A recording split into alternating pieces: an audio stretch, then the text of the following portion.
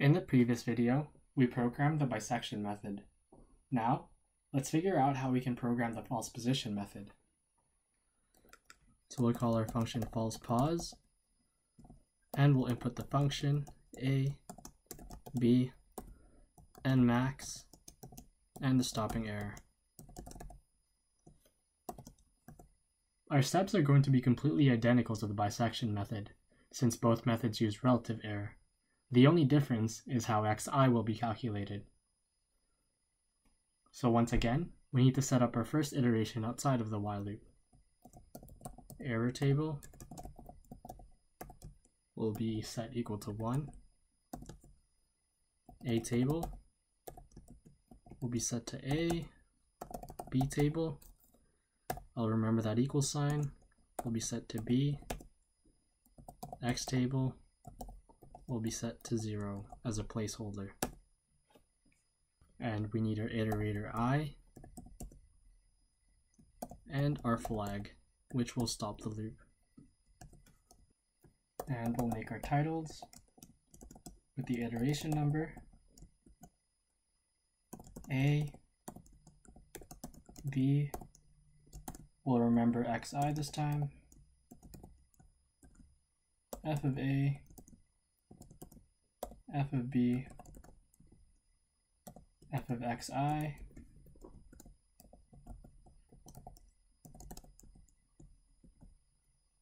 and the error. And now we'll move on to our while loop, which keeps going so long that i is less than or equal to the n max, and flag is equal to 1.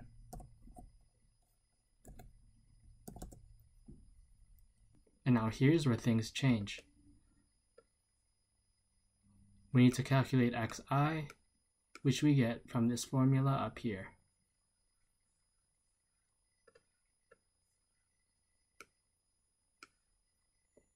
So xi is now going to be equal to a table of i times f of b table of i minus b table of i times f of a table of i all divided by f of b table of i minus f of a table of i.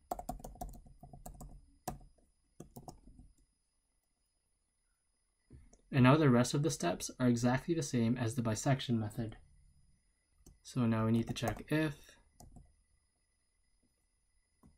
f of a table of i times f of b table of i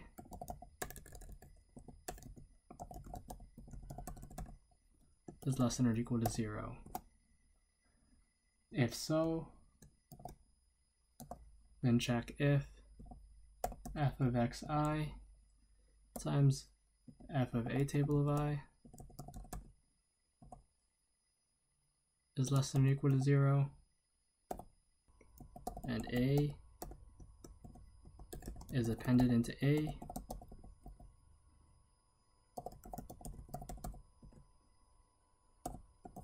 and b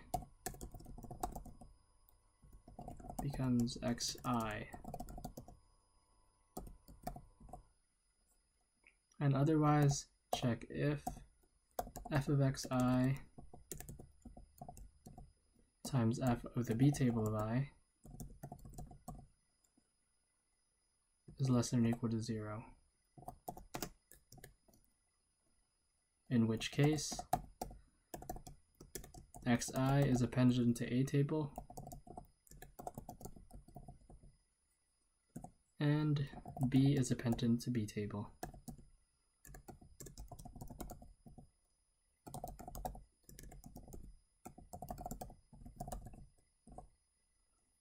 Closing all those if statements.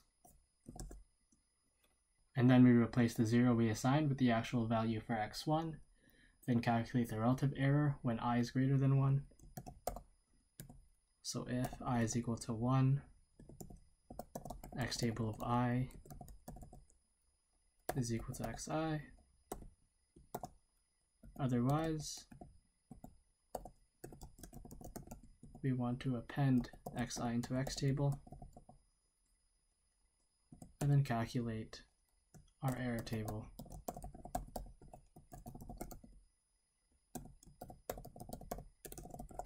which will be error table appended with the relative error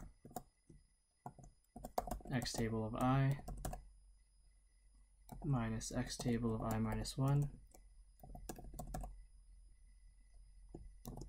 all divided by x table of i.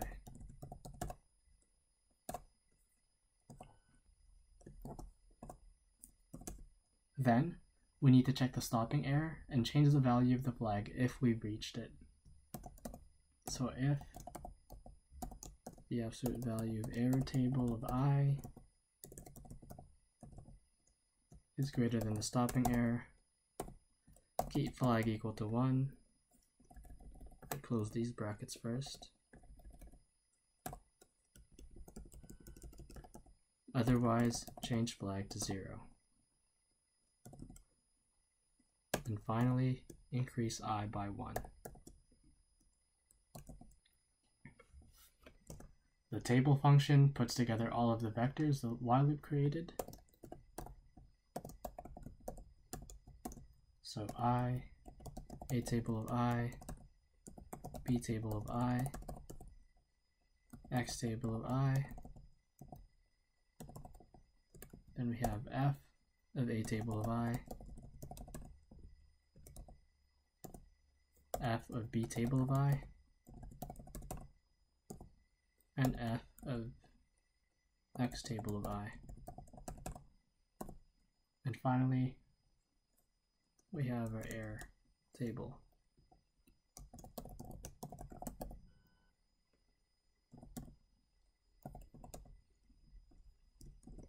And i will go from 1 to the length of x table.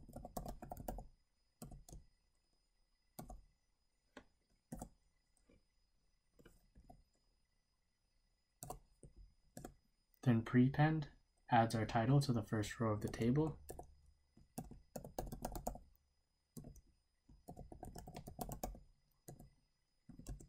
And finally, matrix form displays our table.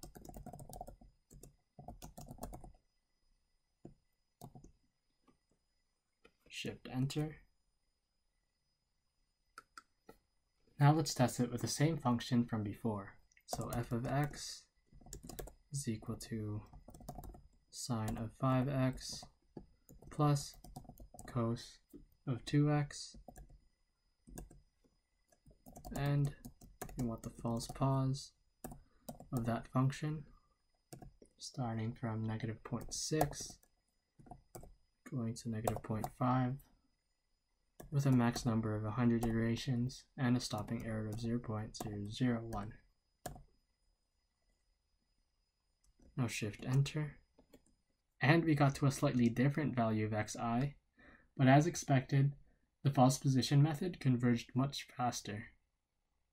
In this tutorial, we saw how to program bracketing methods by creating a function that evaluates xi for each iteration using a while loop and then proceeds to create a table with all of the results. We also saw how to create tables using the table, append, and prepend functions. That concludes this tutorial. Thanks for watching and good luck with your labs.